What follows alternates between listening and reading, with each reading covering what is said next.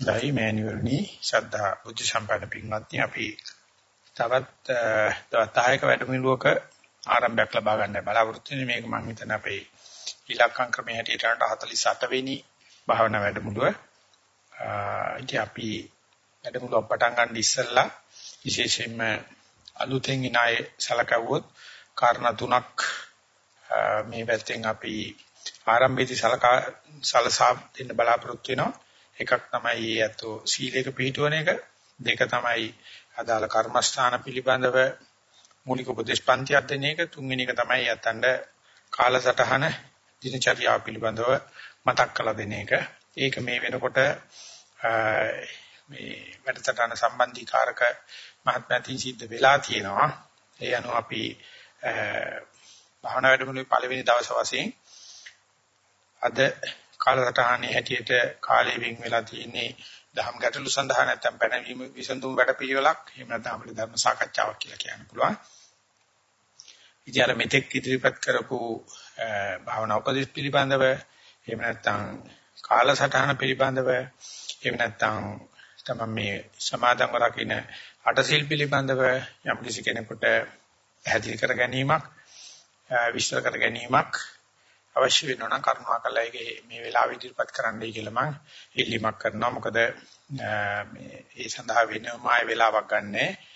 ඊට අමතරව යගේ ධර්ම සාකච්ඡාවකට අපි අපි ගත කරන ආධ්‍යාත්මික ජීවිතය වගේම භාවනා ජීවිතය මතුවෙන ගැටලුත් ඉදිරිපත් වෙනවා. ඒ සඳහා ක්‍රම දෙකක් තියෙනවා. එකක් තමයි මේ පුරුදු පළපුරුදුත් ඇත්තෝ කරපු විදිහට ලියලා ඉදිරිපත් කළා කියන්න පුළුවන් කල්ැතුව. එතකොට ඒක සභාගත කරලා ඒ අනුව අපි ධර්ම සාකච්ඡාට පොට පද ගන්න. ඒ කෙරෙන අතර වාරේ යම් කිසි කෙනෙකුට පිරිසුදු කර ගැනීමක් නැත්නම් මතයක් ප්‍රකාශ කරන ප්‍රශ්නයක් කරන්න අවස්ථාවක් තියෙනවනම් වාර්තාගත කිරීමේ පහසුව පිණිස ඉල්ලීමක් කරනවා. ඒක මේ මයික් එකක් අරගෙන පාවිච්චි කරන්නයි කියලා. එතකොට ඒ ශබ්ද පටිගත වීමේදී ප්‍රශ්නයත් වාර්තා වෙනවා, උත්තරේත් වාර්තා වෙනවා. එහෙම නැතුව කට වචනෙන් කිව්වොත් උඟක් කලාවට මේ ප්‍රශ්නය අවශ්‍ය ශබ්ද තීව්‍රතාවයෙන් වාර්තාගත වෙන්නේ නැති නිසා මෙතෙන් එන්න බැරි. නමුත් මේ වැඩසටහනට නැත්නම් වැඩසටහනේ වාර්තාවට හුම්කම් දෙන්නේ නැත්තු එතකොට චෝදනාවක් කරනවා නැත්නම් කියාපෑමක් කරනවා. ප්‍රශ්නේ ඇහින්නේ උත්තර විතරයි ඇහින්නේ කියලා. ඒ නිසා අපි මයික්ස් දෙකක් ඉදිරිපත් කරන සභාවට.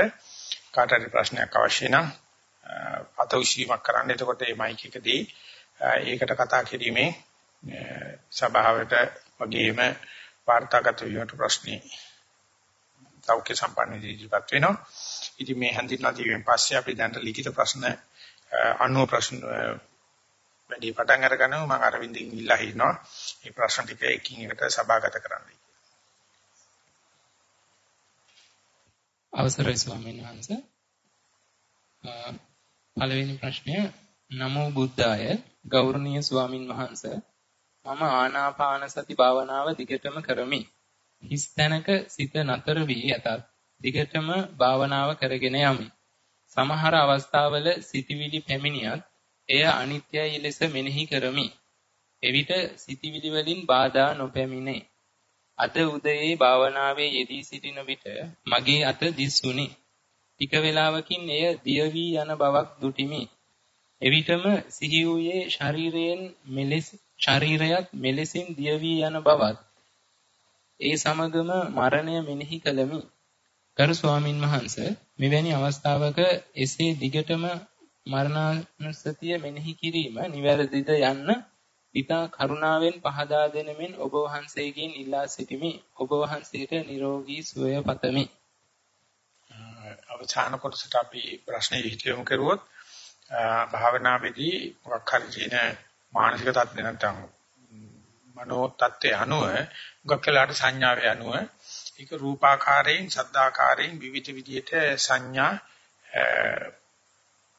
දිස්සෙන්න පටන් අර ගන්නවා ඒ දිශෙන් පටන් අරගත්තට පස්සේ ඒ සංඥාව අනුව යෝගාවචරයා නිත්‍ය සංඥාවේ හිටියොත් මේ එන දේවල් ඔක්කොම නිකන් ගලන ගගක් වගේ අනිත්‍ය භාවයට ගන්න නැතුව නිත්‍ය සංඥා හිටියොත් මේක මට මරණානුසතිය වරන් නිමිත්තක්ද මම මේක ටික ටිකට යන්න ඕනද කියලා කතා ප්‍රශ්නෙම මතුවෙන්නේ මේ එන සංඥාවක් අල්ලගෙන. මේවා එන්නේ යණ්ඩයි. ඒක නිසා අපි දිගින් දිගට මරණානුසතිය කිරුවොත් එහම අර ආපු එකකින් ඇති කරගත්ත දෝංකාරය දිගටම මරණානුසතිය යන්න යන්න සමතේට අනුග්‍රහයක් වෙන අතර විපස්සනාට බාධාවක් කරනවා. විපස්සනාට අනුග්‍රහයක් වෙන්න කරන්නේ මේ සංඥාවක් මතුන ඕක ගියාට පස්සේ තව එකක් කියනවා. ඒක කිසිම ඊගාකට සම්බන්ධයක් නැහැ. ඊගායක ඊගාකට සම්බන්ධයක් නැහැ. දිගටම අනිත්‍ය සංඥාව එහෙම නැත්නම් විපරිණාමය එහෙම නැත්නම් ක්ෂය වෙනම හැටි, වැය වෙන හැටි, නිරුද්ධ වෙන හැටි බලනවා නම් ওই මතුවෙච්ච දහකුත් දසදහසකුත් සංඥාවල් අතර මේ එකක් අල්ලගෙන තියෙනවා. මේකෙන් පේනවා අපි අපිට අඟට විකල්ප 1000ක් දුන්නොත් අල්ලන්නේ එකයි. මේ තමයි අපේ පෞරුෂත්වය. මේ තමයි අපේ රුචි අරුචිකම්. මේ තමයි අපේ අගයන් ආඩම්බරයන්. ඒ නිසා මේ අල්ලගත්ත එක අනුව මරණානුසතිය කරනවද බුද්ධානුසතිය කරනවද කියන එක නෙවෙයි. හොඳට දැනගන්න ඕනේ දැන් එකක් අල්ලලා තියෙනවා. ওই මුළු ගමනේදීද ගමනේදීම හම්බුනේ එක සංඥාවක් නෙවෙයි. සංඥා කෝටි ගණක් හම්බ වෙනවා. හම්බ වෙන එකෙන් අල්ලන එකෙන් තමයි මිනිහා නොමිනිහා තේරෙන්නේ. Taman අල්ලන්නේ තමන්ගේ රුචි අරුචිකම් වල හැටියට තමයි. ඒ නිසා ඒක අල්ලුවාට පස්සේ ආ මෙන්න මගේ හැටි. මගේ ස්වභාවය තමයි මෙච්චර අරමුණු පේනකොට මේ අත් දැක්කා. අත කුණු වෙලා යනවා දැක්කා. යනවා ඒකේ ජරාව නැත්තම් මරණේ සීපත් වුණා. දැන් ඒ අදහස ඒ හුදු මතියක් සත්‍යයක් වඩපත් වෙනවා. Concept ගම reality. ඉතින් මේ විදිහට තමයි හිතින් එන අදහසක් මතුන ඒක අපි යථාර්ථයක් කරගන්න හදන්නේ. යථාර්ථයක් කරගන්න හදන්නේ මේක ඉස්තිරව එල්බ ගැනීම. ඊට පස්සේ ප්‍රශ්නයක් එනවා එල්බ ගත්ත දේ හරියද වැරදිද දිගට කරන්න ඕනද කෙටියට කරන්න ඕනද කියලා ඒ කවදා හරි Tamandම තේරෙන්න මේ ගලන ගංගේ එකක් අල්ලගෙන ඒක ඒක ප්‍රශ්නයක් කරගන්න. ඒක ප්‍රශ්නයක් කරගත්ත ගමන් මානසික ආතතියක් ඇති කරනවා. ප්‍රශ්නයක් කරගත්ත ගමන් සාරද්ද භාවයක් ඇති වෙනවා මම කරනවා හරියද වැරදිද දිගට කරන්නද කොටුව. ඕකත් අර අනිකුල් සංඥාවක යන්න ඇරියා නම් ඉවරයි. මේ යන්න දෙන්නේ අපේ හිතේ ස්වභාවය ඒක තමයි වර්ණාව ශෝෂණයක් තියෙන්නේ. ගොඩාක් ඉදිරිපත් කරුවට පස්සේ අපි අල්ලන එකෙන් කියකි මිනිහා නොමිනිහා බව. ඉතින් මේක වගේ සභාවකට ඉදිරිපත් වෙච්චා ආයෙත් මේක ඒ අත්දැකීම හරහා අපිට ඔක්කොටම අත්දැකීමක් කරගන්න පුළුවන්. කැමේශ කරලා තිබ්බහම සීළු දේ සම්පූර්ණව අපි කන්නේ අපි පිඟාට දාගන්නේ මගේ රුචි ටික තමයි. මගේ රුචි ටික විතරයි මම රස බලන්නේ. මගේ රුචි ටික විතරයි මම බොක්කට දාගන්නේ. මගේ රුචි ටික තමයි මම අවශෝෂණය කරන්නේ. මගේ රුචි ටික තමයි මම අසුචි වශයෙන් පිට කරන්නේ කියලා කියනවා මේ කැම්මේසෙන් මං කෑවයි කියලා. ඇත්ත තමයි. නමුත් කැම්මේසෙකින් තාම අංශ මාත්‍රයක් කරන අත්දැකීම සහිතව තමන්ගේ කාපු ටික තෝරා ගන්නවා. ඒක නිසා මෙතනදී තේරුම් ගන්න ඕනේ මේසි ප්‍රශ්න වෙන මේකක් තමන් තෝරාගන්න එක ඒක අපේ ජන්මාන්ගතව එහෙම නැත්නම් කියනවා දයෝපගතව උපනිෂේ සම්පත්තන සිද්ධ වෙනවා මේක නැවත නැවත සිද්ධ වෙයි. ඒක කිසිම ඔය ලියන එකනට කිසිම අයිතිවාසිකමකුත් නැහැ, අධිකාරියකුත් නැහැ. මේක වෙන්න අරින්න නැවත නැවත හිතට ස්වයංවරය කරගන්න අරින්න. කරලා බලන්න මේ මගේ හිත කියන්නේ මොන වගේ දේවල් වලට කැමති එකක්ද මොන වගේ දේවල් අකමැති එකක්ද මොනවද අල්ලලා බදාගන්නේ මොනවද යන්න අරින්නේ මේක නිසා බොහෝ දේවල් වලට යන්න ඇරියොත් විතරක් අපිට ප්‍රകൃතිය දැනගත හැකියි. නැත්නම් අල්ලගත්ත දෙත් එක කල්ගත කරන්න පටන් අරගත්තොත් සම්පූර්ණ අර අවස්ථානෝචිත ගතිය ඉන්නේ දේ දැක ගන්න පුළුවන් ගතිය මග හැරෙනවා. එනිසා භාවනා හොඳ තැනක තියෙනවා. මේ ඉස්සරහට ගියාමත් තමන් ඉස්සරහ ගොඩාක් මේ වගේ මාරු වෙන සිද්ධි සිද්ධ වෙවි. එකකටවත් ඇඟිලි ගන්න එපා. හිත මේක තීරුවයි කියලා දැනගත්තොත් ආ මෙන්න හිතේ රුචිකත්වය කියලා දැනගන්නවා. මිසක්කා ඒකත් එක්ක වැඩිදුර කිවිසුම් වලට වැඩිදුර ගණන් වලට යන්න ගියොත් වෙන්නේ ඊගා චිත්තක්ෂණය නවමුණ වෙන්නේ නැහැ. ඒකට ඉස්සලා චිත්තක්ෂණය කෙලෙසිලා මරණානුස්සති කියන චිත්තක්ෂණය එන්නේ ඉතින්. වැරද්දක් නැහැ. මරණානුස්සති කිරීමේ සමතානි සංස ලැබේ. විපස්සනානි සංස වශයෙන් කරණ තියෙන්නේ ඒකත් එන්නේ යණ්ඩයි ඊගා එකත් එන්නේ යණ්ඩයි. ඒවට එහෙම යණ්ඩර්ලා බලන්න පුළුවන් නම් ඒ අරමුණේ නිකලෙසි අරමුණේ සාරද්ද නොවි අරමුණෙන් සංස්කාර ඇති නොකරගෙන අරමුණෙන් ආතතිගත වෙන්නේ නැතුව අරමුණෙන් අසහනයකටපත් වෙන්නේ නැතුව ඉන්න පුළුවන් ගතියක් තියෙනවා. කොච්චරද කියනනම් මේ පැයේදී ගත වෙච්ච ලක්ෂයකුත් අනිකුත් අරමුණු වලින් කිසිම ප්‍රශ්නයක් ඇතුනේ නැති යම්සේද ඒ වගේ මේකක් දීලා දාන්න පුළුවන් වුණා නම් එහෙනම් බුදු උණයි කියයි. මේ එක අරමුණක් නිසා එල්ලීලා තියෙන කොක්කේ ඊට පස්සේ ප්‍රශ්නයක් ඇති කර ගන්නවා. මේක දිගටම මරණසුති කරනවද මොකද කෙරුවා හරිද වැරදිද? ඉතින් අර අනිකුත් ඒවා යන වගේ මේකත් යන්න එක කියන්න නම් ලේසි. මතෝ හිතන තරම් ලේසි නෑ ඕක යන්න අරින එක. මොකද අපි මේ එක අල්ලගන්න තමයි අනිත් ඔක්කොම ඇත. ඒ නිසා ඒ සියල්ල පාවා දීලා අල්ලගත් එක මොකಾದෝ මොකಾದෝ බදාගත්තා වගේ අල්ලන. ඉතින් ඒක දිහා බලන්න පුළුවන් හැකියාව තමයි බුදුජානක දකින්නේ මනසක තියෙන, මනුස්ස මනසක තියෙන බොහෝ දේවල් දෙනකොට මම අල්ලන්නේ මෙහෙම දෙයක්. මගේ රුචි අරුචිය මෙහෙමයි. මගේ නැති භාවයේ නතු භාවයේ මෙහෙමයි කියලා දැක ගන්න නම් අල්ලගත්තත් එක එකත් එක්ක වැඩි දුර ගනුදෙනු කරගෙන ඉන්නවා. ඒකට යන්න රෙඩිගා වෙන එකත් බලන්න. බල බල යන්න පටන් අරගත්තොත් මේක පුදුම තිරියංකමකට වැටෙනවා හිත. මොකක් හරියක් අල්ලගත්ත ගමන් නාකි වෙන්න පටන් ගන්නවා. ඒකත් එක්කම ඇදි ඇදි යනවා. එනේන දෙයට අලුත් වෙන්න පුළුවන් නම් පැටලෙන ගලේ පාසි බැඳෙන්නේ නැතුව වගේ හිත නිතරම නික්ලේයියෝ තියෙනවා. නතර වෙච්ච ගමන් ඉතින් පාසි බැඳෙනවා. ඒකට කියනවා නිත්‍ය සංඥාව කියලා. සමහරට සුඛ සංඥා නෙමෙයි කරන් තියෙන අසුඛ සංඥාව, සුභ සංඥා නෙමෙයි කරන් තියෙන අසුභ සංඥාව. නිත්‍ය සංඥාවත් එක්කම දිගට පාසි බැඳීමක් වෙනවා. හිතට නොදැනීම, ඇඟට නොදැනීම මම ආත්ම සංඥාවක් වෙනවා. එනිසා මේ මතුවෙන දේවල් අනෙකුත් අරමුණු වගේම නොසලක හැරීම කියන වචනේ මම පාවිච්චි කරන්නේ ප්‍රතික්‍රියා නොකර. නැත්නම් ප්‍රතික්‍රියා කරනවා නම් කරන බව දැනගෙන යන්න හරිනවා නම් හරි ලේසි. එයාලි මං කියනතරම ලේසි කියලා වචනෙට කිය හැකි මට හරි අමාරුයි ඒකයි ඒකයි කමටහන. ඒකයි සුද්ධ වෙන්න ඕන තැන. ඒක නිසා අනිකුත් දහසකුත් එකක් අරමුණ වලට යන්න ඇරියා වගේ මේකත් යන්න ඇරියා නම් හොඳයි. ඒ එහෙමනම් වෙනකොට අද සාකච්ඡා කරන්න ප්‍රශ්න ඉතුරු වෙන එකක් නැහැ. ඔක්කොම යන්න ඇරියොත්. ඉතුරු වෙන්නේ අල්ලගන්න එක තනුව තමයි අපි සාකච්ඡාව මෙහෙවන්නේ. නමුත් මේ මේ මම මතු කරලා දෙන්න හදන මේ කාරණාව අනිතර Taman තුලින්ම සිද්ධ වෙන්න අරින්නේ. එදාට අපි කර්මස්ථානාචාරවලින් ස්වාධීන වෙනවා, අරමුණු වලින්ම ස්වාධීන වෙනවා, කෙලෙස් වලින්ම ස්වාධීන වෙනවා, සංස්කාර වලින්ම ස්වාධීන වෙනවා. අල්ලගත්තොත් විතරක් අහු වෙනවා. ගරුතර ස්වාමීනි පිම්බීම හැකිලිම බැලීමේදී ආනාපානයෙන් මුල මැද අග නොපෙනේ. මුල සහ අග පමණක් වැටහේ. එනමුත් මුල මැද අග යන ත්‍රිත්වයම බැලීම අනිවාර්යද? ගෞරව වේවා. අපිට මොන මෙහෙම කියන්න පුළුවන්. විවිධ පැත්තක මේකට උත්තර දෙන්න පුළුවන්. සංසිද්ධියක් ගත්තාම ඒ සංසිද්ධියේ නැත්නම් මේ අරමුණක් ගත්තාම සිද්ධියක් ගත්තාම සංසිද්ධිය කියලා කියන එකක් ගත්තාම ඒකේ මුල මැදාග තුනක් තියෙනවා. මුල දැක්කොත් අනිවාර්යයෙන්ම ඒ අරමුණේ ඒ චිත්තක්ෂණේ මැදයගෙන් දකින්න බෑ. මුල දැක්කොත් මුල දැකීම නිසාම හිත කොච්චර හිර වෙනවද කොටු වෙනවද කියන මැදවක දකින්න බෑ. නමුත් ඒ අරමුණම නැවත වෙනකොට ඊගා චිත්තක්ෂණේදී සමාහට මැදකින් පුළුවන්. ඒකට මුලයි යක දකින්න බෑ. ඊගාම ඒ අරමුණම නැවත නැවත කරන ඊගාව චිත්තක්ෂණේ අග දකින්න පුළුවන්. ඒකට මුලැමැද දකින්න බෑ. ඊට පස්සේ හිතෙන් තමයි මේ තුන එකතු කරලා පුට්ටු කරලා මම අරමුණේ මුලැමැදක දැක්කයි කියලා කියන්නේ. අපි මේ කොට නැගිලා අර පැත්තෙන් බැලුවොත් අපිට මේ පැත්ත බලන්න බෑ. ඒක කරන්න බෑ කොහොමඩක්වත් කරන්න බෑ. මේ පැත්තෙන් බැලුවොත් අර පැත්තෙන් බලන්න බෑ.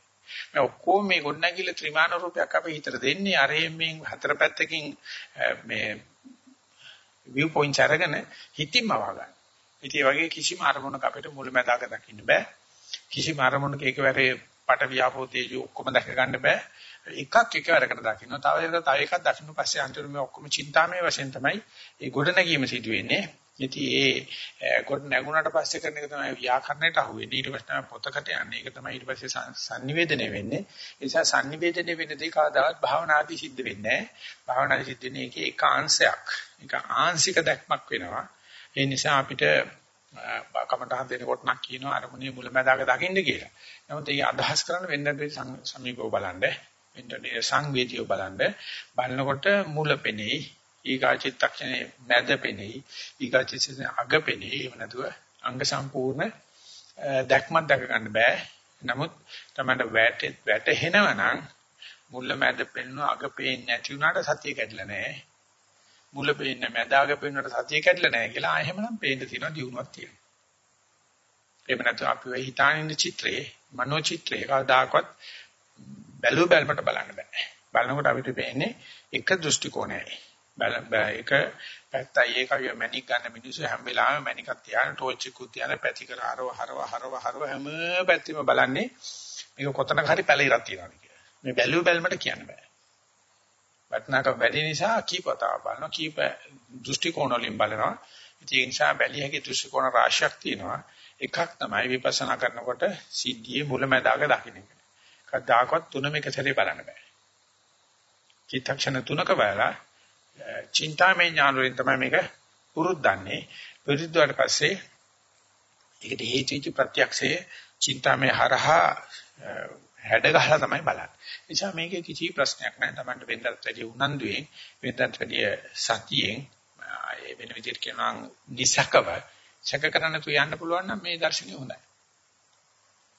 ගෞරවනීය ස්වාමින් වහන්සේ යම් කිසි වැඩක් පමණක් නොව භාවනාවට පවා මෙම සිතේ බලපෑම සිදුවන බැවින් මෙයට විසඳුමක් නැතමි.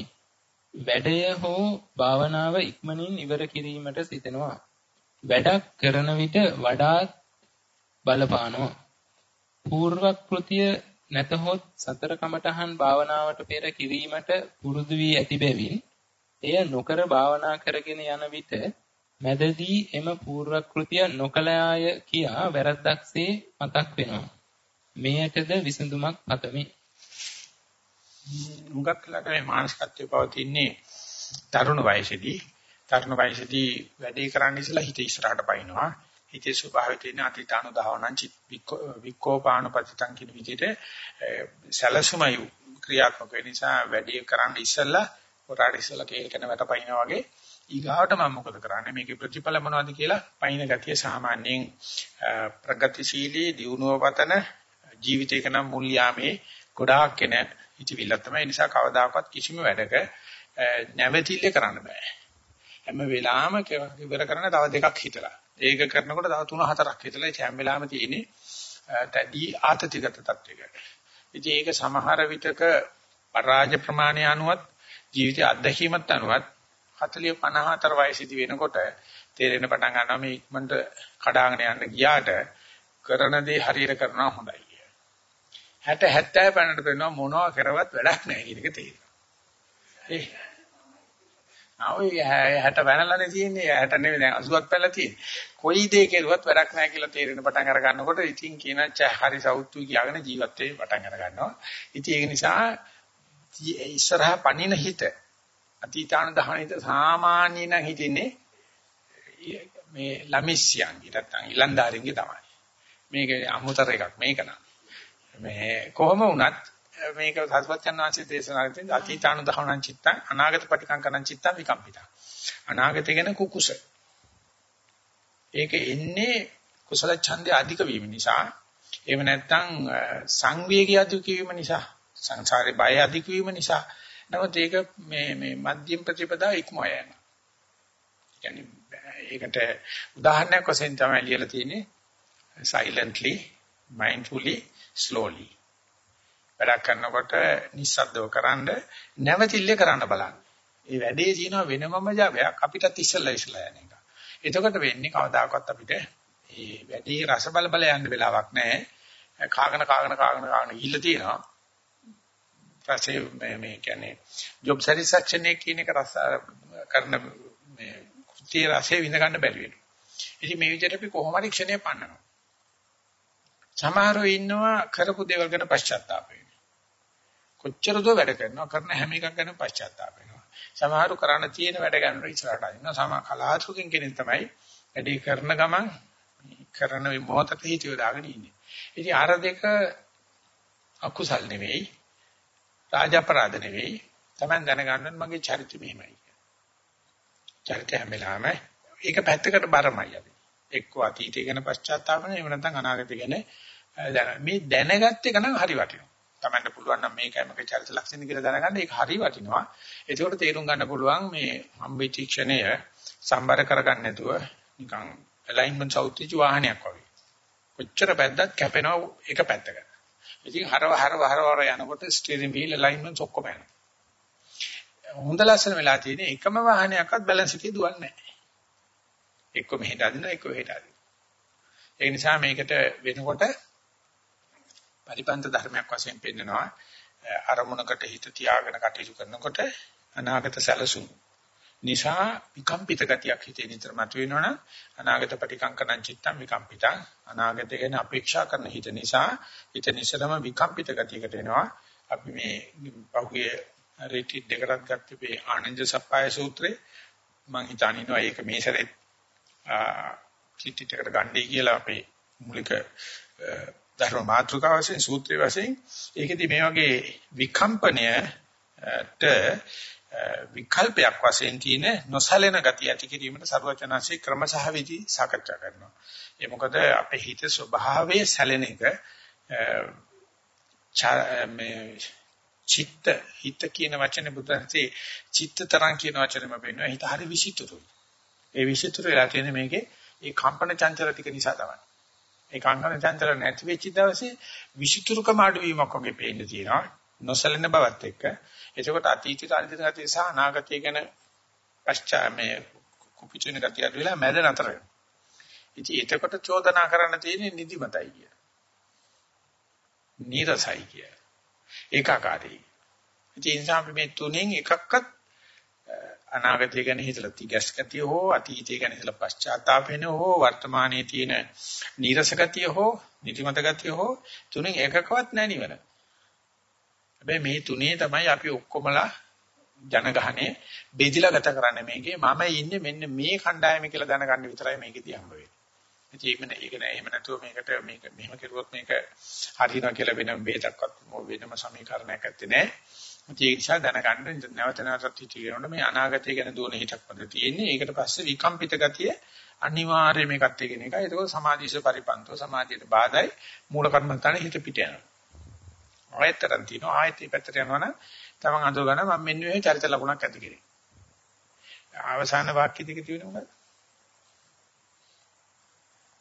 පූර්ව කෘතිය නැතහොත් සතර කමඨහන් භාවනාවට පෙර කිරීමට පුරුදු වී ඇති බැවින් එය නොකර භාවනා කරගෙන යන විට මැදදී එම පූර්ව කෘතිය නොකලාය කියා වැරද්දක්සේ මතක් වෙනවා. ඒ කියන්නේ අතීතානුදාවනං චිත්තං වික්කෝපාන පයිච්ඡං කියේ නොකල කළ වැරද්ද පිළිබඳ පශ්චාත්තාප වෙන එක. ඉතින් ඒව එනකොට එකක්වත් පිළියම් කරන්න යන්න එපා. හිත පාරෙන් පිටපයින් ක්‍රම වශයෙන් දැනගෙන තියන්න. එතකොට දැනගන්න ඕනේ මගේ හිත දැන් තියස්මක තියෙනවා මගේ හිත විකම්පිත කියලා කියන පශ්චාත්තාවයක තියෙනවා එහෙම නැත්නම් මගේ හිත නීරසකමක තියෙනවා. ওই තුنين එකකට අහු වෙලා තියෙනවා. අපිට තියෙන්නේ මේ වෙලාවේ ඒක දැනගන්නවා නම් ඒ දැන ගැනීම හරහා හිතේ අවදියක් ඇති වෙනවා. ඉතින් ඒක නිසා මේ එක්කෙනෙක් විතරක් කරන බුද්ධලික වැරද්දක් නෙමෙයි මේ. පුරකෘති කෙරුවත් නැතත් එහෙම නැත්නම් අපි හිත ඉදිරියට පයින්නකොට ඉදිරියට පයින්න බව දන්නවනම් අතීතය ගැන කල්පනා කරලා පශ්චාත්තාප වෙන බව දන්නවනම් ඒක විශාල දැනුමක් අපට. මොකද ඒක කවුරු කරපේ ගන්න නෙමෙයි ඇත්ත වශයෙන්ම මේ තේ ඇති වෙච්ච එකක්. ඒ වෙලාවේදී ඒක ඒ වශයෙන් නම් කරන එකයි තියෙන්නේ. දැන් මේ පශ්චාත්තාපයක්. මේ අනාගත තිගැස්මක්. ඒ නැත්නම් ඒකාකාරීකමින් දැන් අප නීරස ගතියක් කියලා අල්ලගන්න එකයි තියෙන්නේ. දිගට කරගෙන කරගෙන යෑමෙන්මයි අපිට මේ අපේ තියෙන මේ ජම්ම ගති, ආවේනික ගති, එහෙම නැත්නම් මේ නයිසර්ගික ගති තේරුම් අරගන්න වෙන්නේ මේකට කිසිම කිසි කෙනෙක්ගේ බෙහෙත් අහන්නේ තමන්ම දැනගත්තොත් විතරයි බෙහෙත වෙන්නේ. දැනගන්නත් වෙලා පශ්චාත්තාප වෙන්න පටන් ගත්තොත් බෙහෙතක් වෙන්නේ නැහැ. දැනගෙන මේ මගේ භාවනාවේ මට හම් වෙච්ච විශාල ප්‍රතිඵලයක් රෝග නිర్ణයක් කියලා දැනගත්තොත් ඒකම බෙහෙතක් වෙනවා. ඒ නිසා මේන් තොර වෙන කවුරු මොනවත් අපිට කිව්වත් මේ කියපු දේ සැකයට යට වෙනවා. මේක න සැකයක් නෑ ප්‍රත්‍යක්ෂ වශයෙන් දැනගත හැකි. දිගට කරගෙන යන එකයි තියෙන්නේ. ගරු ස්වාමින් වහන්සේ පිම්බීම හැකිලිම අරමුණට ගැනීමට උදරයේ මධ්‍ය ප්‍රදේශයේ අරමුණට ගැනීම නිසා අපුවේ හුස්ම ගැනීම ඉතා අවම වන බව වැටහුණි. එය වැරදි පිළිවෙතක් වේ යන අදහසින් අපුව සමග බද්ධ වූ උදරයේ ඉහළම කොටස අරමුණට ගනිමි. එවිට එම ප්‍රදේශය උස් පහත් වීමට වඩා අඩුවෙන් සිදුවද උස් පහත් වීම පෙරට වඩා අඩුවෙන් සිදුවද එය නිවැරදිය කියා සිතමි. එවිට පෙරමෙන් උදරයේ මධ්‍ය ඉහළ පහළ යාමද ඊතා අවම බව පෙනුනි. මෙය ආදුනික පිම්බීම හැකිලීමට යොමු වන අයට ගැටලුවක් බැවින් වඩා නිවැරදිව හුස්ම ගැනීම පවත්වා ගැනීමට අරමුණු කළ යුතුයේ උදරයේ ඉහළම ප්‍රදේශයද යන්න පහදා දෙන මෙන් ගෞරවයෙන් ඉල්ලා සිටිමි. මොකද්ද පටලවිල්ලක් තමයි මේක පේන්න තියෙන නිසා මූලිකව මතක තියාගන්න තමයි හොඳට භාවනාවට වාඩි වෙලා ඉන්න ඉරියව්ව දිහා බලාගෙන ඉන්න ඒ වෙලාවේදී අවදි භාවයට හිත යොදාගෙන ලිහිච්ඡ බවට හිත යොදාගෙන සමමිතික බවට හිත යොදාගෙන තමයි ඉන්න බව. මේක තව තාක්ෂණික පැත්තෙන් කියත හැකි. මේ වෙලාවේදී එහෙම ආධ්‍යාත්මික වාසයෙන් ඉදිලා ඉන්නකොට තමයි මේ ඉඳගෙන ඉන්නකොට දැනෙනවනම් මම මැරිලා නැහැ කියන එක දැනගන්න මට මේක මේ මම දැන දැන දැක දැක ඉන්නේ මම මැරිලා නැහැ මට නිින්ද ගිහිලා නැහැ මට ක්ලාන්ත වෙලා නැහැ කියලා මොකද්ද සංඥාවක් තියෙනවා කතා කරන ඔක්කොටම යටින් මම වෙමි කියන එකට. මේකට භාවය කියලා ඕනනම් කියන්න පුළුවන්. ඉතින් ඒකේ පවත්තරනව මෙන්නම අරමුණක්වත් ඕනේ නැහැ. උදරේ පිම්බීම බලනවා, හැකිලිම බලනවාද, උඩ බලනවාද, යට බලනවාද, ආනාපානෙ බලනවාද මොනක්වත් ඕනේ නැහැ. හොඳට අවදි වෙන්න මම දැන් සීලේක අරගෙන ඉන්නේ.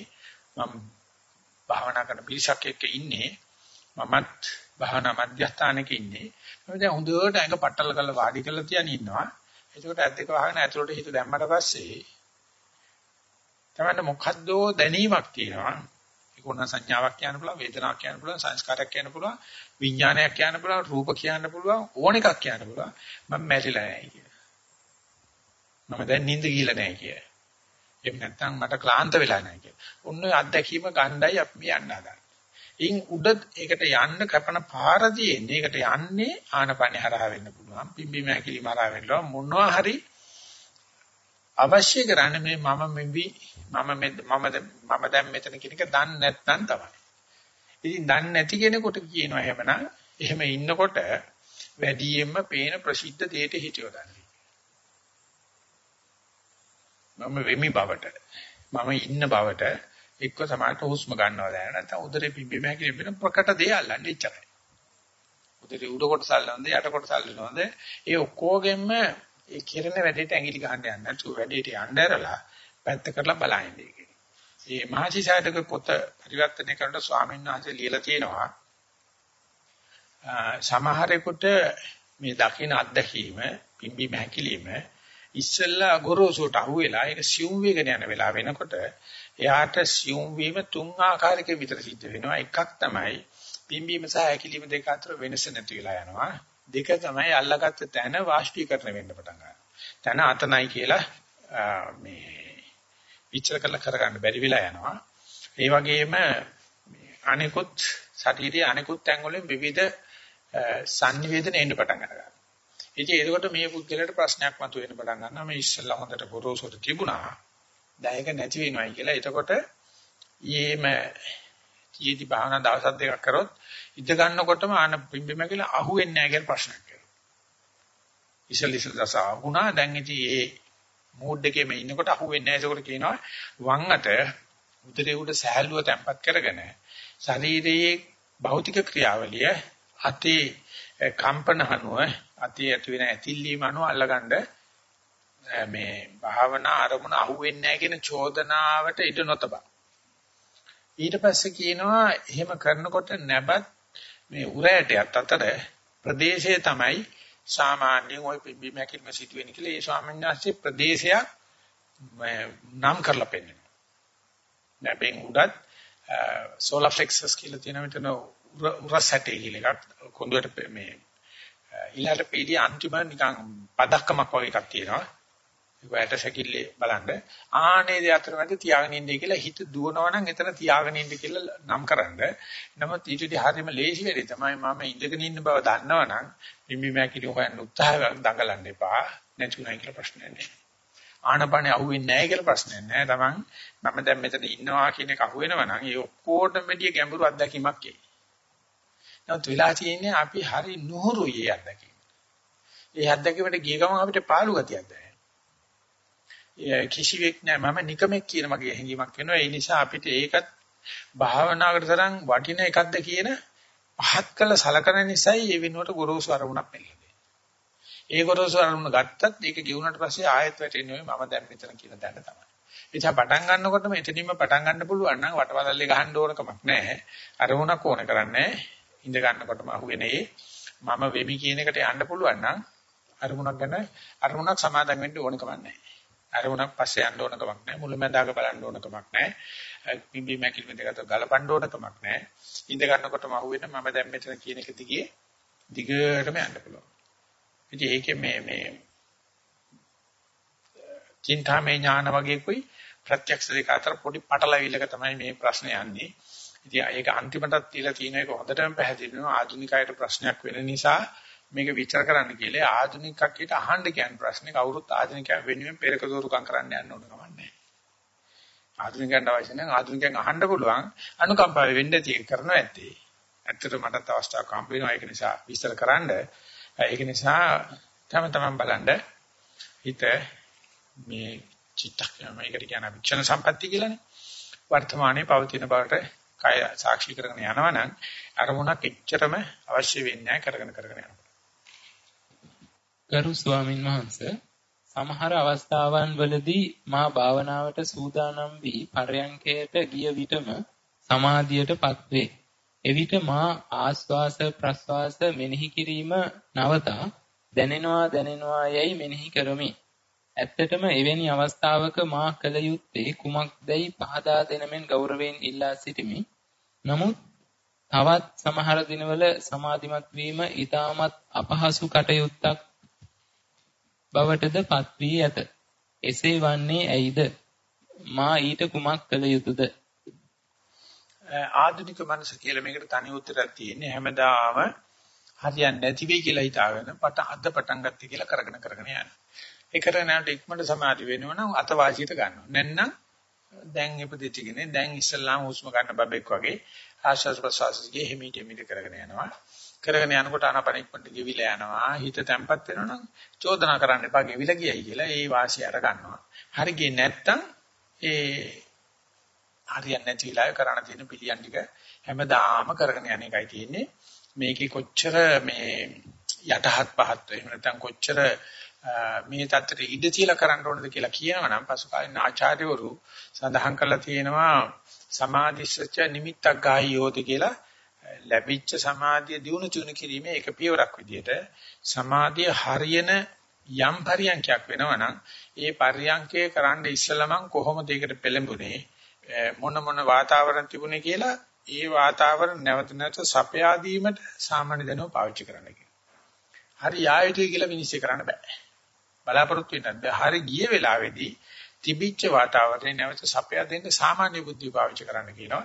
පාවිච්චි කරලා උදේ නම් හරි කිය පහුවෙන්දත් ඒ වෙලාවේ එතනම වාඩි වෙන්න ඒ දිශාම බලලා වාඩි වෙන්න සක්මනකට පස්සේ නම් සක්මන් කරලා වාඩි වෙන්න නෑමට පස්සේ නම් නෑමට පස්සේ වාඩි වෙන්න වාඩි වෙලා හරියන අවස්ථාවට අනුග්‍රහ කරනවා. හරි ගියේ නෑ කියලා ඇයි එහෙම වෙන්නේ කියලා අහන්න අයිතියක් නෑ අපිට මොකද අපේ හිත තියෙන්නේ නිතරම කෙලස් කොටක. නිතරම නීවරණ කොටක. හරි යන එක තමයි මේ පුදුමේ. ඒ පුදුම දෙයට පුළුවන්කම තියෙන එක අපිට පෙන්වනවා නම් ඒකට අවශ්‍ය අනුග්‍රහ කරන්නේ කොහොමද? පහුවෙන් දරත් හරිය වෙලා තිබුණ ඒ සුබ ලකුණු මංගල ලකුණු ටික නැවත නැවත සපයා දෙන එක. ඒ නිසා පටන් ගන්නකොට ආනාපානේ සරණක් පිටක් නැතුව හිත තැම්පත් වෙනවනම් ආයක ජයසිරි මංගලම් කියලා අනිකයි තියෙන්නේ. හරි ගියේ නෑනේ. ආධුනිකයෙක් වගේ අද පටන් ගත්ත කෙනෙක් වගේ සපයන තියෙන ඔක්කොම කරුණු සපේලා එමෙිට එමෙිට ක්‍රමයෙන් හදාගෙන යන්න වෙනවා. ඉතින් එතකොට මේ යෝගාවචරයට පිට කෙනෙක්ගේ දැනුමෙන් ඇති වැඩක් නැහැ.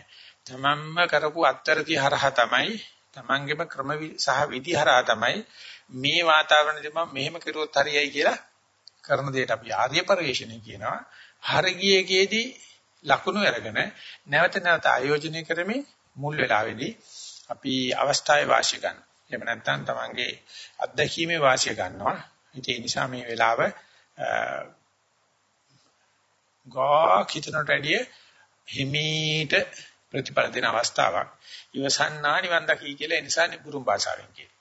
ඉවසලා කටයුතු කරන එක නදී. ඇයි වරදින්නේ කියලා අහන්න අයිතිවාසිකමක් නැහැ. මොකද වර්ධින එක තමයි ස්වභාවය. ගරු ස්වාමින් වහන්සේ මා ඔබ වහන්සේගේ අවවාද අනුව භාවනා කරගෙන ගියා. සක්මන් භාවනාවේදී සක්මන් සමාධියද පවතී. ආනාපාන සති භාවනාවේදී දැන් මේ වන විට ප්‍රස්වාසයේ අග සියුම් වීගෙන ගොස් ඇතුළතින් එකවර විශාල ගැස්මක් ඇතිවේ. එය පිටතටත් සියුම්ව පෙනේ. මේ ගැස්ම වරින් වර ඇතිවේ. මා මේ ආකාරයටම ආනාපාන සති භාවනාව කරගෙන යන්නද හිඳිනවා යන්න මෙනෙහි කරන්නද ආලෝක නිමිත්ත ඊතරම් ප්‍රභාස්වර නැතත් දිගටම පවතී. ආනාපානයටම අහුවෙන තාක්කල් පාරේ උරෙච්චාම ගම කියන කතාව තමයි පුරුමින් කියන්නේ. මේ පාර දිගේ බලන් ඒතර ගම තියෙයි. පාරේ නම් ඉන්නේ ගමේ විස්තර අහන්න කතා කරන්න යන්නම තව පාර තියෙනවනේ යන්න. ඒ වගේම ආනපාන පේන කන් දිගට කරන්න. ඒකට මතුවෙන ආලෝක නිමිත්ත හෝ නැත්නම් ඉන්දිමිදිමි කියන ඔක්කොම නිකන් තාම ආදාළ නැති කාරණා. ආනපාන යම් ආකාරයක් යම් සටහනක් යම් ලිංගයක් යම් ආකාරයක් තියෙනවනම් තමයි දේශ මාත්‍ර වශයෙන් ඒක ඉවර වෙන කම්ම කරගෙන යන්නේ. එතකොට ඒක තමයි අපිට පෙර ගමන් කරු වෙන්නේ. ඊට අමතරව හම්බෙන මොන දෙයක ගියත් ඒක ආනාපානට කරන අනදරයක් වෙනවා. ආනාපාන කරව නිග්‍රහයක් වෙනවා. ඉතින් ඒකට භාවනාව පිටපොට යන්නේ. ඒ නිසා බලමු අන්තිම වෙනකම් ආනාපාන ගතෙන් කරන ආනාපානෙම්ම කෙලවර වෙන එකයි කරන්න තියෙන්නේ. ඒකටම සලකගෙන යන එකයි කරන්න තියෙන්නේ. පූජනීය ස්වාමින් වහන්සේ හරයන්ක භාවනාවේදී Taman සිටින ආසනය ගැන මෙනෙහි කරන්නේ කෙසේද යන්න පැහැදිලි කර දෙන්න. මා කරන්නේ හිස බෙල්ල උරහිස අත් දෙක පපුව යටිබඩ උකුල කකුල් දෙක වශයෙන් මෙනෙහි කරමින් ටික වේලාවක් ගත කර පසුව ඇස් ටිකක් විවෘත කර කකුල් ඇති ආකාරය බලා හිස සිට චිත්‍රයක් මෙන් සිතා මෙනෙහි කරමින් සිටීමයි. මේ පස්සාකාට උත්තර දෙන්න පුළුවන්. ඔය කතා කරන්නේ රූපාකාරය. ඉන්න රූප ධර්ම එවනත අද්දක වහන විඳීමක් අපි විඳිනවා ඉන්න බවට ඒක වේදනාව යන්න පුළුවන්. ඒ හැඟීමක් තියෙනවා සංඥාවක් ඒ අනු යන්න පුළුවන් නැත්නම් අතපය කොච්චර කෙරුවක්වත් අපිට නිශ්චලව හිටියට හෘද වස්තුවේ ගැහිමක් සිද්ධ වෙනවා. මේ හැමෙන් හැම වෙලාවෙම උණුසුම සිසිලස ස්පර්ශ කරලා ඒ අනුව සකස් කිරීමක් යනවා හිතේ. පණ ඇති කයක් නිකන් තියෙන්නේ. ඒක සංස්කාර අනුව තියා ගන්න පුළුවන්. ඊගාට මනස මේ මම මේ මගම නොවේ කියන එක හැම වෙලාවෙම උදක් යන හිත මාක් කරගෙන තියෙනවා. මේ ටික යනකම් මගේ මෙතනින් යහගේ මම නෙවෙයි කියලා. ඉතින් ඒ අනුවත් මේකේ හැඩයක් තියෙනවා. ඒ එක එකන එක එක වෙලාවට රූපාකාර දිගේ මම වෙමි කියන එක ගන්න. සමහරට වේදනාකාරයෙන් මම වෙමි කියලා ගන්න. සංඥාකාරයෙන් ගන්නවා, සංස්කාරාකාරයෙන් ගන්නවා, විඥානාකාරයෙන් ගන්නවා. එක්කනාම මොහොතේ මොහොතේ වෙනස් වෙන්න පුළුවන්. දැන් මේකේ අල්ලලා තියෙන තද බල විදියට රූප ධර්ම අල්ලාගත්ත සටහන් සහ ආකාරات එක්ක යන ක්‍රමය. නැත්නම් ඇත්ත ගහගත්තට පස්සේ වෙන කෙනෙකුට පුළුවන් තමයි මැරෙන්නේ නැති බවට දැනගන්න. ඉතින් ඒකට අතපය තියෙන හැටි මොනවත් ඕනේ ඒ වේදනාව හරහා යන්නේ කරන සංඥාව හරහා යන්නේ කරන නිසා ඔක්කොටම විවෘත කරගෙන යන්න මේකත් වළංගු ක්‍රමයක්. හැබැයි රූප ධර්ම වලට බර ක්‍රමයක් කියලා කියතයි. පූජනීය ස්වාමින් වහන්සේ සක්මන් භාවනාවේදී දකුණ වම නොවරද්දා දිගු වේලාවක් මෙනෙහි කරමි. දකුණු පාය ඔසවන විට ශරීරය දකුණටත් වම් පාය ඔසවන විට ශරීරය වම් පසටත් බරවන ඇලවෙන බවක් දැනේ. කකුල ඔසවන විට පළමුව විලුඹ එසවේ. ඊළඟට ඇඟිලි එසවේ. එම කකුලම නැවතත් තබන විටද පළමුව විලුඹ බිම තැබෙන අතර ඇඟිලි මීළඟට බිම තැබෙන බවත් ඊට පසු අනෙක් කකුලේ විලුඹ එසවෙන බවත් පැහැදිලි වේ. නමුත් සිතට විවිධ සිතිවිලි පැමිණීමද වරින් වර සිදුවේ. S2 එකම දුරකට පවත්වා ගැනීම බොහෝ විට සිදු නොවේ. වටපිට බැලීමට සිත නොයදේ. සක්මන නිවැරදි කරගත යුතු ආකාරය පහදා දෙන්න. සක්මන වේග වේගවත් නැතිව tempatව සිදු කිරීමට සිත යෙදේ. වෙහෙසක් නොදැනේ. ඇතැම් විට නිදිබර ගතියක් මෙන් දැනේ. මුල් ටික නම් ඇත්තටම මේ පොර පෑදිලා තියෙනවා. නමුත් අංග සම්පූර්ණ මේ පාලනයක් යටතේ ඉන්නේ ගොඩක් කල් යනවා ඒකට එන්නේ. ඒ නිසා මේ මුලින්ම යන ක්‍රමයේ දිගට කරගෙන යන්න. ඒකෝර තමයි පේනවා මේ කය පයේ මේ විලුඹ බර අරිනකොට ඇඟිලි වලට බර ගන්නවා. ඇඟිලි වල බර ගන්නවා ටීකා විලුඹ බර ගන්නවා. ඊට පස්සේ ඒක ඇඟිලි ගන්නවා. එතකොට නිකන් කරත් එක රෝදක පෙරලනා වගේ ඒ කටයුතු කරන අතරතුර එතුගාම පේන්න පටන් අර ගන්නවා ඇහෙන් ඔරියන්ටේෂන් එක ගන්න හැටි. ඇහෙන් ඇහෙන් තමන් මේ සම්බර භාවය ගන්න. එතකොට පේන්න පටන් ගන්නවා මම එක තැනකින්ම නෙවෙයි සම්බර භාවය ගන්නෙ. ඉස්සරහ පස්සේ යනව නේද? ඊට පස්සේ සද්දෙන් ගන්නවා. ඊට පස්සේ හුලගෙන් ගන්නවා. හැම පැත්තෙම මේ নিকමට හිතනද අඩි 6ක් කුස දෙයක් වෙම කෙලින් තියාගෙන ඇවිදිනවා කියන එක පරිණාමයේදී මනුස්ස මානව සත්ව සංගතියේ මනුස්සයාට විතරයි දෙපයින් ඉඳලා ඇවිදින්න පුළුවන්. ඒකල වැටෙන්නේ නැතුව යන්න කන් වල තියෙන සමවර භාවය. කන් වල තියෙනවා ඒ බැලන්ස් එක ගන්න එක විශාල සමබර භාවයක් තියෙනවා.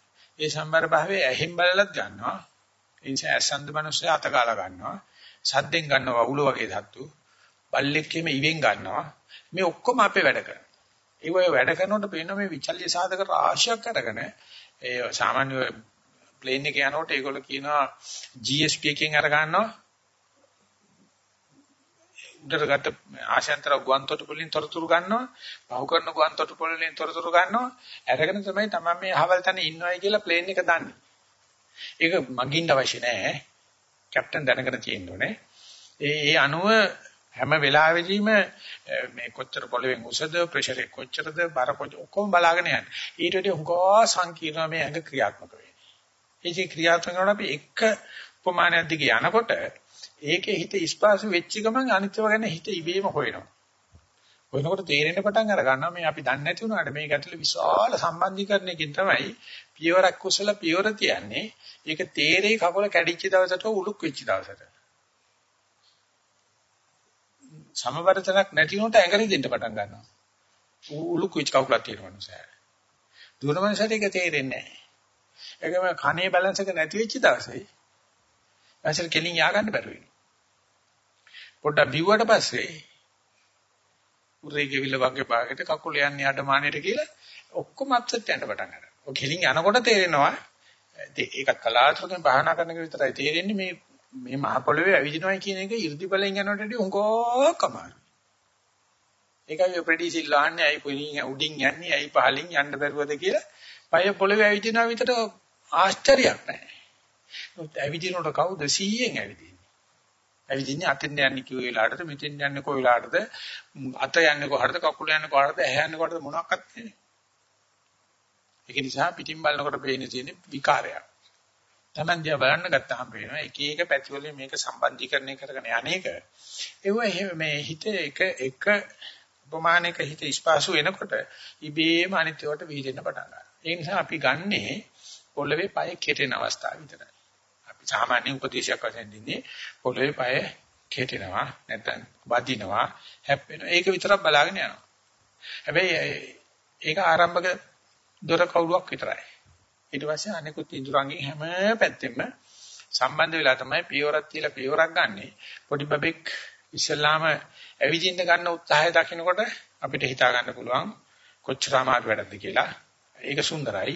ඒ වගේම අංශභාග රෝගියෙක් පයක් කුසල පයක් තියන්න හදනකොට ඒ වගේම වයසට ගිය මිනිස්සෙක් වම තියලා දකුණ කියලා ඇදගෙන වැටෙනකොට තේරෙන පටන් අර ගන්නවා මේ කොච්චර පොඩි කාලයයිද අපිට කෙලින් ඇවිදින්න තියෙන්නේ. ඒ ඇවිදින එකෙත් හරියට ඇවිදින දෙයටම හිතියව දාන යන්න පටන් අරගත්තොත් තේරෙන පටන් අර ගන්නවා අවුරුදු කොච්චර ගාණක් පරිණාමයෙන් ඇවිල්ලාද දෙපයින් හිට ගන්න අපි පුරුදුනේ කියලා. නමුත් අර අවධානකින්තර සතියින්තර ගමන් කරනකොට අපිට ඒක පිළිබඳ කිසිම වටිනාකමක් ඒ සමබර භාවය පිළිබඳව අගය කිරීමක් ඇත්තේ නැහැ. වෙන්නේ අතපය ගැටිච්ච දවසේ. ඉතින් ඒ නිසා මේකෙදි මුලින් අර කියපු විදිහට වමෙන් දකුණට මාරු වෙන හැටි විලුඹෙන් කක ඇඟිලි වලට මාරනට හොඳ ලස්සනයි. ඒකම නැවත නැවත කරනකොට අනිකුත් උපමාන ඒකට සම්බන්ධීකරණය වෙන හැටි තේරි හැමෝගෙම එක විදිහට නෙවෙයි සිද්ධ වෙන්නේ. එක එකනගේ සමබර භාව වෙනස්. නමුත් අංග සම්පූර්ණ වීම ආංශිකව පටන් ගන්න ටික ටික ටික ටික කරගෙන යන එක තමයි තියෙන්නේ. ඒ නිසා යන විදිය හොඳයි. නැවත නැවත මේක කරමින් ලැබෙන සෑම තොරතුරකටම ප්‍රත්‍යක්ෂ තොරතුරකටම සාදර වෙන්න තෝරන්න එපා. මේක වෙන්න ඕනේ මේක නොවෙන්න ඕනේ කියලා එකක් නැහැ. කරගෙන කරන යනකොට ওই දැනුම පුදුම වැඩිවීමක් වැඩි වෙනවා. පූජනීය ස්වාමින් වහන්සේ රාත්‍රී 9:15ට පමණ උඩහා ශාලාවේදී පරයන්ක භාවනාවට වාඩි වුණා. වරහන් ඇතුළේ තියෙනවා පිරිමි කෙනෙක් කියලා.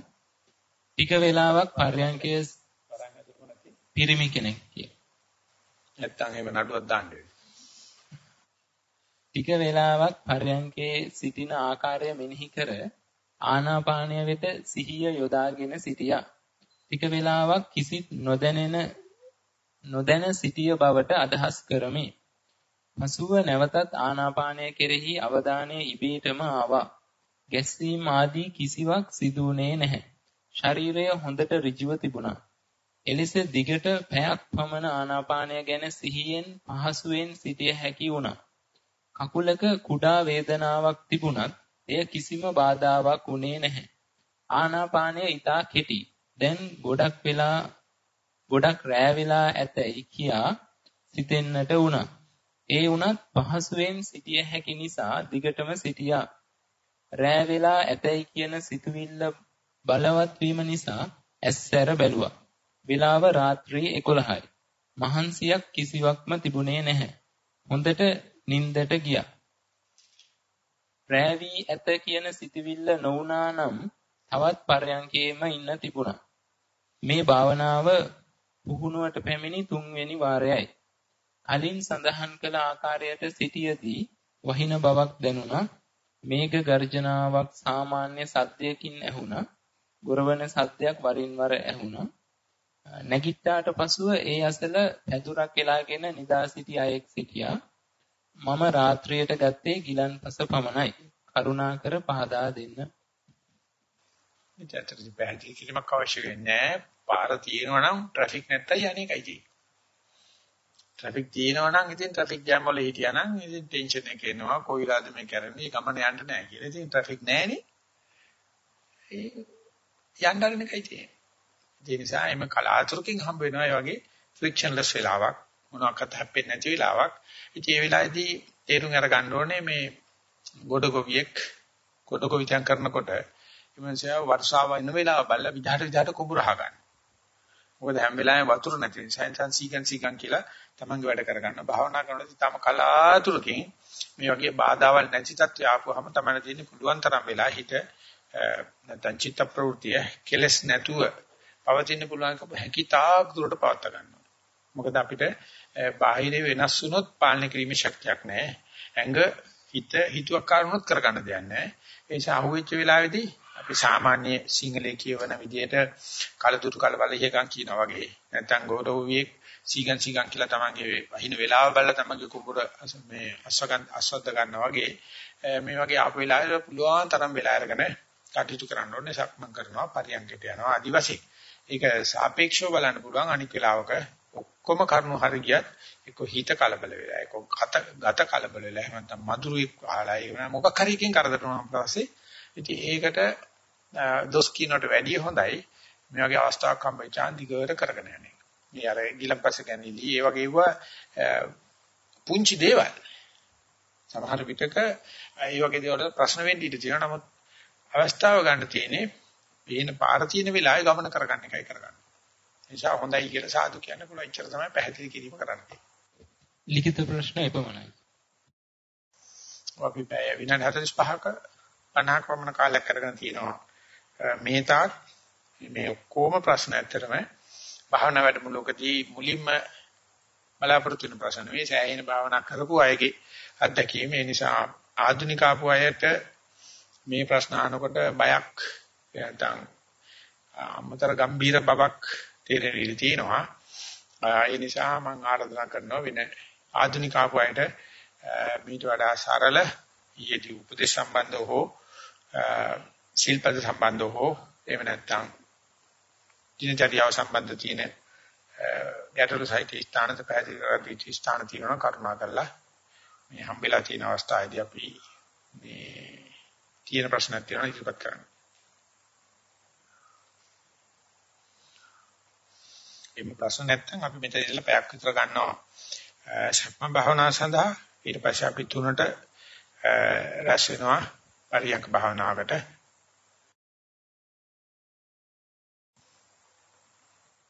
අර ඉස්සෙල්ලා අහපු ප්‍රශ්න වගේම සක්මන් භාවනාවේදී මට සක්මන් භාවනා විනාඩි 15ක් විතර කරනකොට ලොකු නිදිමතක් එනවා.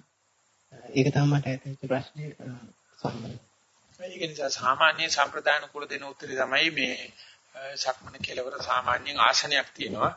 අන්නේ ආසනයේ පොඩ්ඩක් වෙලා ඉඳගෙන ඉඳී කියලා කියනවා. නිදිමතක් ආපුවම නිින්දට යන්නත් එපා, පරියන්කට යන්නත් එපා. මේක ඇත්ත නිදිමතක්ද නැද්ද කියලා බලන්න මේ ආසනයේ පොඩ්ඩක් වෙලා ඉන්නවා. විනාඩි 3-4ක් ඉන්නවා. දීලා බලන්න මොකද වෙන්නේ කියලා. මේ මුගක් වෙලාවට වෙන්නේ හිත එකසෙන් වෙන්න පටන් ගත්තට පස්සේ තමයි සමහර විටක මේ අවිජිනකොට එහාට බැනෙන ගතියක් එනවා. සමහර තද නිදිමත ගතියක් එනවා. ඉතින් මේ දෙකම සක්මංගලේදී හම්බෙන ඇත්තටම කියන හොඳ ප්‍රතිඵල දෙකක්. නමුත් ආධුනිකයට මේ මේ වගේ වෙලාවට මම මොකද්ද කරන්න ඕනේ කියලා දන්නේ නැති ප්‍රශ්න එනවා. ඒ නිසා සාමාන්‍යයෙන් කියනවා මේ ආසනේ පොඩක් වාඩි වෙලා ඉඳලා බලලා ඊට පස්සේ ආයෙ සක්මන් කරන්න. එහෙම නැත්නම් ඉතින් කියනවා මේ පස්සේ පතර සක්මන් කරන්න කියන නැත්නම් තාප්පයක් උඩ සක්මන් කරන්න කියනවා. ඔය ඒ වගේ ක්‍රමවේගකුත් තියෙන පස්සේ ටිකක් කියලා දෙන්න දැනට ওই විදිහ තමයි කියලා දෙන්නේ. තාප්පයක් උඩ පස්සේ පස්සට ගියාම එන්නේ නැහැ. ඒ තාප්පයක් උඩ ඉස්සරහට ගිය ප්‍රශ්න. අවසරයි ස්වාමීන් වහන්සේ මේ ආනාපාන මේ බලාගෙන යනකොට මේ මුල මැද අග විදියට බලාගෙන යනකොට ස්වාමීන් වහන්සේ වෙලාවකට මේ නිින්ද යනවා වගේ එකක් වෙනවා. මේක නිින්ද යෑමක්ද කියලා මේ කොහොමද ඒක හොයාගන්නේ කියලා ස්වාමීන් වහන්සේ පැහැදිලි කිරීමක් කරන්නේ. ඇත්තටම මේකට කම සාමාන්‍ය දල උපදේශයක් දෙන්න පුළුවන්.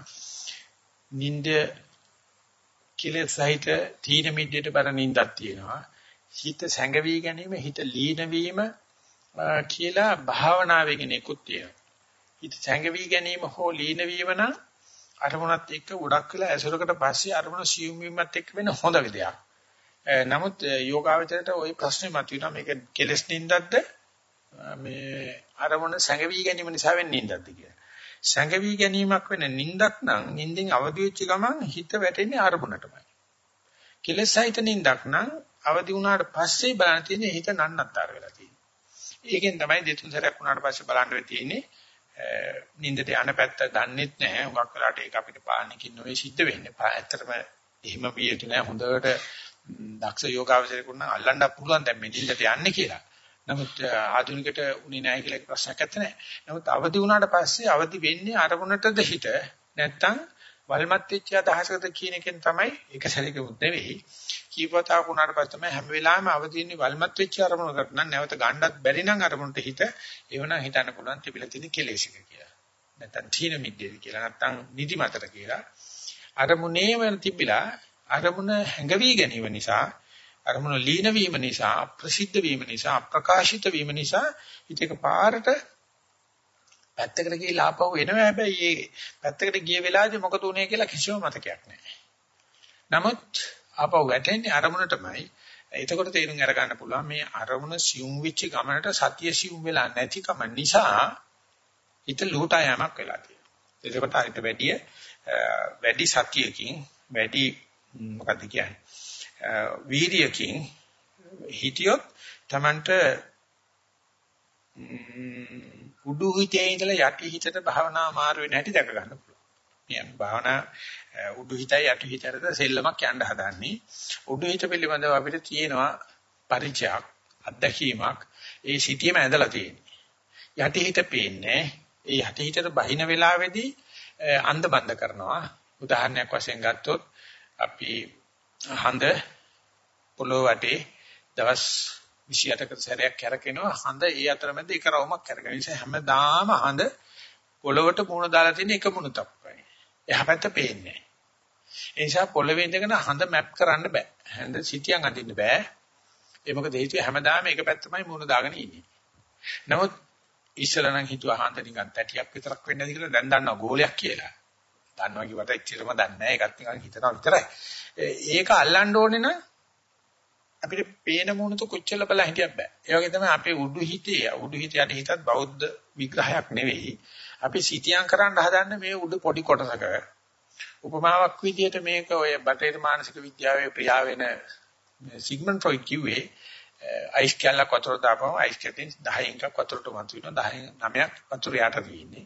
ඒ වගේ අපේ හිතේ ක්‍රියාත්මක වෙන කොටස 10න් එකයි. ඒකේ තමයි මේ ඔක්කොම සෙල්ලම් තියෙන්නේ. ඇඳුනුන් දැනගැනීම ඔක්කොම. යට තියෙන 10ට 9 ඒකට යනකොටම හිත අන්තපන්ත වෙනවා, නිදිමත වෙනවා, ක්ලාන්ත වෙනවා, බය වෙනවා, තක්බීර වෙනවා. ඉතින් ඒ නිසා අපිට ඒක අදාළ නැති කොටස ඒක গুপ্ত පැත්තක්, ඒක ගුඩ පැත්තක් කියලා අපි කියන්නේ.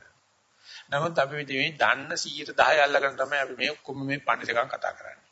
භාවනාවේ කරන දන්නේ දන්නේ නැති 90ට හිත බස්සනවා. ඒ බස්සන සංක්‍රාන්ති අවස්ථාව මායාකාරී. අවුරුද්ද සංක්‍රාන්ති අවස්ථාවේ නොනගති කියන එක අනේ නොනගතේ යනකොට නිින්දක් කරා වගේ එකක් කරා තමයි යන්නේ. හැබැයි මේකේ තියෙන ලස්සන තමයි සරුවචනසේ අපිට පහනක් දීලා තියෙනවා මෙන්න මේ නිින්දෙදී මේ පහන අරන් බලන් ඒක උඩට යටිහිතට ගිහිල්ලා බලන්න පුළුවන්. හැබැයි ලස්සනයි ඒකේ ආධ්‍යාත්මය. යටිහිත වශයෙන් අපි ඔක්කොම එකයි.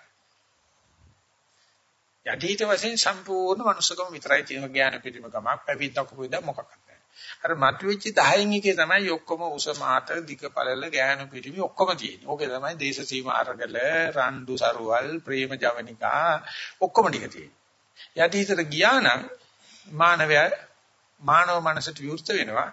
එදා ඉතින් පුදුම හිතෙනවා අපි මේ පොඩි කොටසක් අල්ලන මොන්න තරම් මේ රණ්ඩු සරුවල් කෙරුවට අර යට කොටසේ කිසිම රණ්ඩුවකුත් නැහැ. විශාල දැනුමක් තියෙනමුත් එතෙන්ද යන්න ඒ গুপ্ত භාවයක් ගුඪ භාවයක් තියෙනවා. ඒ গুপ্ত භාවයේ ගුඪ භාවය හරහා යන්න මේ රූපාරම්මණය පවතින සතියමයි. රූපාරම්මණය සතිය ගෙවෙනකොට රූපේ ගෙවෙනකොට නිමිත්ත ගෙවෙනකොට අනිමිත්තේ සතිය පැවැත්වීම හරහා අනාරම්මනේ සතිය පැවැත්වීම හරහා තමයි අපි මේක හරහා යන්න තියෙන්නේ. ඉතින් ඒක මේ වගේ භාවනා වැඩමුළුවකදී පොඩි හඳුනා දීමක් අපිට කරන්න පුළුවන්. හඳුනා දුන්නට ඒක අගය කරන පිරිස ලක්ෂයකට එක්කෙනෙක්වත් නැහැ. ඔක්කොට මේක පේන්නේ කල කල කලකලංචය කලකලංචය කලබලයක් මොකද වුණා වක්කාරයට ආවා වමනේ ගියා බඩේලී ගියා කියලා තී චෝදනා කරනවා. බඩේලී යනවනම් වැඩේ සිද්ධ වෙනවා කියලා විතරක් මට කියතේ. අලකලංචයක් ආවන වැඩේ හරි. කට්ටිය වෙලා තියෙන්නේ මේ ඕම් පොඩ්ඩක් ඉන්න කියලා ගෙදර යන්න ආනවා ඒ වෙලාවට. ඉතින් ඒ නිසා මෙතනින් එහාට යන්න නම් කය සහ ජීවිතය පිළිබඳ ප්‍රේමේ තියලා එන්න වෙනවා. මගේ භාෂාවෙන් කියන ගිහිල් එන්නම් කියලා බෑ. යන්නම් කියලා එන්න ආවොත් වැඩේ කරලා දෙන්න පුළුවන්. ඕගොල්ලෝ තියෙන අවුරුද්දෙන් පස්සේ ගෙදර යන්න බලන්න ඉන්න නැත්තේ. එතකොට මට සාතික වෙන්න බෑ. මේ යටපැත්තට ගිහිල්ලා පෙන්වන්න පුළුවන් වේද ඉතින් පිටිපැත්තට යටපැත්තට යන්න ලෑස්ති නම් මේ උඩ 110 පුදන්න බලාගෙන ඒ ඇත්තට මේක ගන්නෙත් නෑ ඒක නිකන් අපිට අපේට තියා ගන්නවා. අපව යනකොට දෙනවා ඔව කවුද මේ කුණු කන්දලේ තියාගෙන මේ කවුරක්වත් නෑ. ඒ ටිකටවත් මේක අතාරින්න කැමති නැති නිසා අපිට අර හිත ලීන භාවයටපත් වෙගෙන එනකොට අවදි වීම ගුඪ වෙලා තියෙනවා. গুপ্ত වෙලා තියෙනවා. නමුත් ඒක ඒ ඔය කියන යටි හිතට නැත්නම් අපි කියන අසංස්කාරයට එහෙම නැත්නම් අසම්පජානයට යන්න පුළුවන් නේ මනුස්සයට විතරයි. වෙන මොනම භාවයකට ගියත් අපිට ඒ අවස්ථාව නැහැ. ඉතින් මේකෙයි මේ අපි දන්න කොටසේ මනසේ දන්න පේන කොටසයි තිරසං කොටසයි කිසි වෙනසක් නැහැ. ඒක ඔක්කොම නිකන් සාමාන්‍ය ඕන කෙනෙකුට ගන්න පුළුවන්. ඒක ඒක හරහා අර නොදන්න කොටසට අහුවෙන්නේ නැති කොටසට යන පාර තමයි විපස්සනාවේ තියෙන්නේ. ඉතින් ඒක යනකොට පුදන්න බලාගෙන යන්න හැබැයි වාසිය තියෙන දවස් ටික ටික පුරුදු කර කර යන්නේ. ටිකක් ගෙනිනවා, ආයෙ ගෙනිනවා, ආයෙ ගෙනිනවා, ආයෙ ගෙනිනවා. මේ මේව හදාන දාන කියලා යාට පැත්තට ගියොත් ඒක සාමාන්‍ය වචනින් කියන්නේ නිමිත්ත නැති වුණත් සතිය කැඩෙන්නේ නැහැ. නිමිත්ත ගන්න සමාධිය කැඩෙන්නේ නැහැ. අරමුණ නැති වුණත් සමාධිය කැඩෙන්නේ නැහැ. ඒ නිසා අරමුණ ගෙවිගෙන එනකොට දැනගන්න ඕනේ දැන් ගෙනියන්න හදන්නේ ටෙක්නොලොජිය පැත්තකට. ඒකට අපි අපීතව වීරව සූරව තිහිරව මොන දීලා ඒක අපි පිළිගන්න යනවද නැත්නම් තර්ක හිතට ඉඳ දීලා ආපහු අහියු මුස්මන්න ඇත්ත කරලා ආපහු ප්‍රකෘති ලෝකයට එනවද කියන එකයි තියෙන්නේ. ඔය කෙලෙස් සහිත නිින්ද සහ කෙලෙස් සහිත නිින්ද විස්තර කරනකොට ඒ කෙලෙස් සහිත නිින්දට යෑමට පෙරහුරුවක් අවශ්‍යයි. ලෑස්තිලා යන්නත් ඕනේ. අසුවිරු ඥාන තියෙන්නත් ඕනේ. අත්තරදි රාශියක් තියෙන්නත් ඕනේ. එතකොට විතරයි අපිට ඒ දේ සාක්ෂාත් කරගන්න පුළුවන්. ඉන්නේ ඒකත් සම්පූර්ණ අහම්බෙකින් සිදුවෙන එකක්. හරියටම මේක කරලා දෙන්නම් කියලා සාතික් කරන්න බෑ.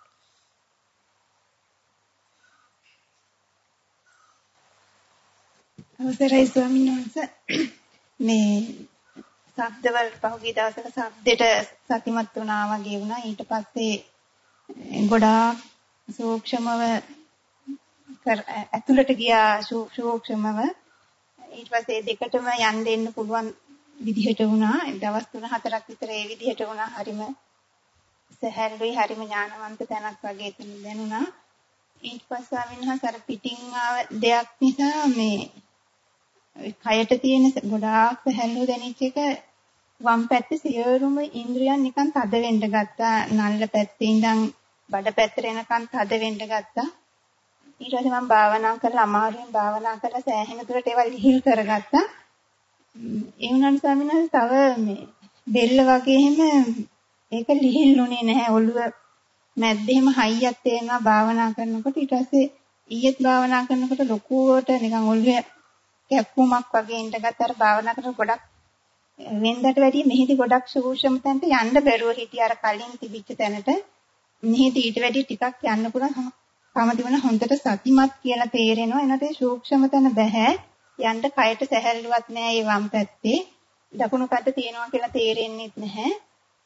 ඒ ඒ සූක්ෂම තැනට යනකොට අර යනවා එනවා නිසා ටිකක් අර ඔළුවේ තියෙන අර තදවීම නිසා නිකන් කැරකිල්ලක් වගේ ඇවිල්ලා ගොඩක් ඔළුවට අමාරු වුණා. සන්නසේ ඒ තදවීම දැන් ගොඩාක් අඩු කරගත්තා මම ශරීරයේ තියෙන ඔළුවේ තියෙන ඒවා. ඉතුරු ටික කරගන්න මේ මට ටිකක් අමාරුයි වගේ තේරෙනවා. තදගතිය දකින්න මෙතක ඔළුව කටබඩ කියලා අල්ලන්න පටන් අරගත්තොත් ඉතින් තදගතිය වැඩි වෙනවා. මේක තදගතිය මේක හැලු ගතිය තදගතිය හැලු ගතිය දෙකම එකයි. ඒක අරක හොඳයි මේක නරකයි කියන දේවල් එකයි. ඕකේ සහැල්ලුවයි දෙකක්. ඒක නිසා අමාරුවක් දැනෙනකොට ඒක මේ කයේ අමාරුවක්, කටේ අමාරුවක්, බඩේ අමාරුවක් අමාරුව වශයෙන් දකිනවා. තදගතිය වශයෙන් දකිනවා. උණුසුම් ගතිය වශයෙන් දකිනවා. මේකට සහැල්ලුයි මේකට තද වෙනවා කියලා ධාතු ස්වභාව ගන්නවනම් නඩුවක් උතන නැහැ. අපි දැන් වෙලා තියෙන කොටසක් හොඳයි කියලා තියෙනවා කොටසක් ශාරීරික වශයෙන් අරන් තියෙනවා කොටසක් පිට වශයෙන් අරන් තියෙනවා එතකොට අපි නිකන් දේශ සීමාවක් හදාගෙන දේශ සීමා අරගලයක් තියෙන. ඒ නිසා ওই විදිහටම දිගට කරගෙන යන්න කරගෙන යනකොට දැනට ලැබලා තියෙන යම් යම් මේ හොඳ අත්දැකීම් දිගේ තර්ක මනසින් නෙවෙයි කටයුතු සිද්ධ වෙන්නේ කරහුරුවේ. කළ පුරුද්ද හා පුරුද්ද දැක පුරුද්ද කියලා එකක් තියෙනනේ. පුරුද්දට යන්න හිතලා කරන තාක්කල් ඔය කට බඩ නාතය හරි වැරදි හොඳ නරක වැටෙන තාකල් ඔය ප්‍රශ්න තියෙනවා. කරගෙන කරගෙන යනකොට නිකම්ම මේ සහැල්ලු ගතිය දැනෙන දවසේ තේරෙයි ආ දැන් නම් තත්ව ගතිය නෑ කියලා. අරින්න අරින්න බෑ. අරින්න හිතන හැම වෙලාවකම ඊට පටල වෙනවා. හිත නිකන් දඟ වැටෙන්න පටන් අරගෙන නිසා නැවත නැවත කිටිල්ලෙම තමයි ඔකට ඊට ආදා ගන්න. ධාතු විදිහට මෙනෙහි කරනවා. එතකොට තමයි අර මෙච්චර කල් ඒ දැන් දවස් 10කට වගේ ඒ ප්‍රශ්නේ වෙලා ඒ සැහැල්ලු ගතිය ගත්තෙත් එහෙම තමයි. එනිසා ওই විදිහටම විශේෂ ක්‍රමයක් හෝ විශේෂ සමීකරණයක් ඇත්තේ නැහැ. නැවත නැවත කිරීමෙන්ම මේ අනිශි යෝගයේ නිසි කර්ම යෙදෙනකම් කර කර කර ඉන්න එක තමයි කරන්න තියෙන්නේ. හොඳයි. අපි අරගෙන තියෙන අපයකට පොඩක් වැඩි කාලයක්. ඒ නිසා අපි මෙතන පටන් වෙලාව අරගන්නේ මුසක්වම් භාවනාව සඳහා.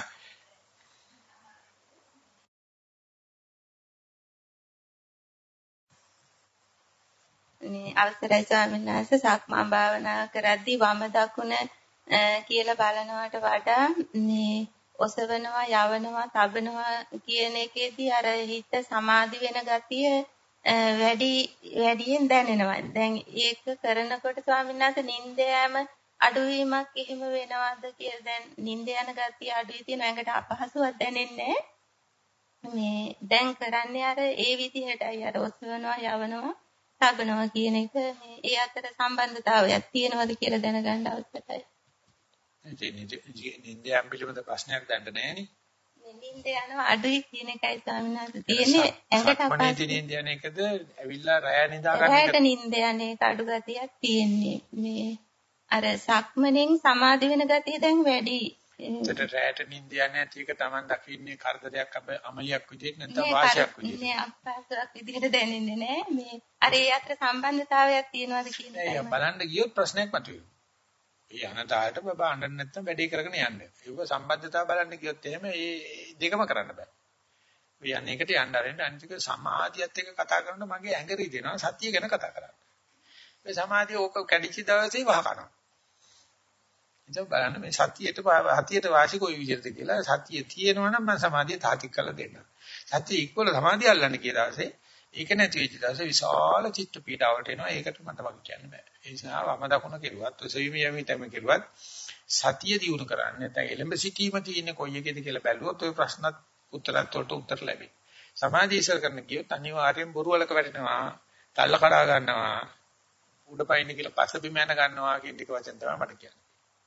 එනිසා මේ මේ වැඩ පුළුවම තියාගෙන ඉන්න සතිය වඩන එකක් විදිහට සමාධියේ ට්‍රැක් එක මාරු කරාට මගේ ට්‍රැක් මාරු වෙන්නේ නැහැ. මට ඇහෙනකොටම කරප්පම් වගේ නිකන්. සමාධි කියන වචනේ ඇහෙනකොටම මට නිකන් කරප්පම් වගේ. ඇලර්ජික්. එනිසා සතිය තිබුණොත් සතිය හරහා සක්ම සමාධියේ මට ඒකට ඊර්ෂ්‍යාවකුත් නැහැ. ඒකට යන්න දෙන්න. ඒ නිසා නිතර බලන්න තමන් කරන දේ පිළිබඳ එළඹ සිටීම අප්‍රමාදය එහෙම නැත්නම් උත්සන්නාසනෝ දේදියා බලන ගතිය නිදිමතුන ප්‍රශ්න නැහැ. එහෙමනම් අපිට පාලනයක් තියෙනවා. සමාධිය කියන සීනි බෝල එකක යන්න පටන් අරගත්තොත් ඉතින් ඕක නැති වෙච්ච දවසේ ලুকু චිත්ත පීඩාවට. ඒ නිසා හැම වෙලාවෙම සතිය ඉස්සර කරගෙන යන්න. එතකොට ඔය ප්‍රශ්න වලට උත්තර ඇත්තටම ඒක ඇතුළෙම යාන්ත්‍රණයකින් අන්තර් සම්බන්ධතා පේන්න පටන් අර ගන්නවා. සමාධිය කියලා කියන්නේ නිකන් මෝහා කරන දෙයක්. මේ සතිය කවදාකවත් මෝහා කරන්නේ හොඳට හෙලි කිරීමේ කෘත්‍ය කරලා දෙනවා. එනිසා මට පේන්නේ ඉච්චර ප්‍රශ්නයක් නෑ. ඒ හිතට මේවා ගන්න එපා. පෙළගැස්වීමේදී හැම වෙලාවෙම සතිය ඉස්සරහින් තියාගන්න කියන එක විතරක් මම මතක් කරනවා. ශිර දිනාටම තෙරුවන් සරණයි.